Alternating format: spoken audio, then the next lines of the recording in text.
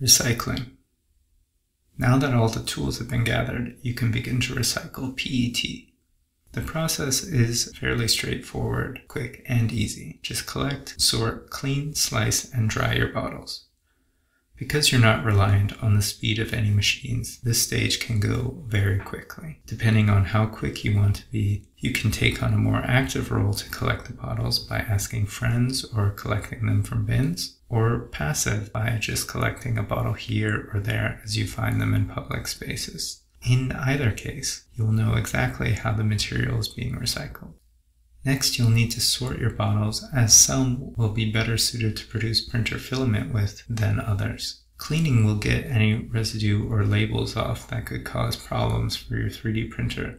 And while all of the previous steps are very necessary, slicing your PET bottles into strips will be the most crucial step, in addition to being very satisfying. Afterwards, just dry the strips and get ready to start producing. Start by collecting bottles, a lot of bottles. Each island of the archipelago system requires about 50 grams of PET filament. While PET bottles vary in their size and thickness, on average, each island will require approximately four 1.5 liter bottles with a little bit of leftover material.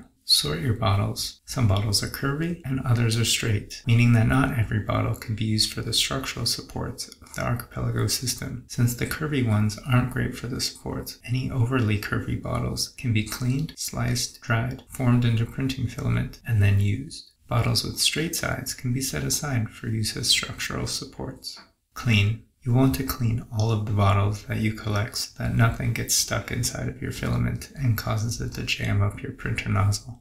Strip the label off as best you can, remove the top, rinse out, and cut the bottom off of each. Dry them if you have time, or wait until after you've sliced them into strips.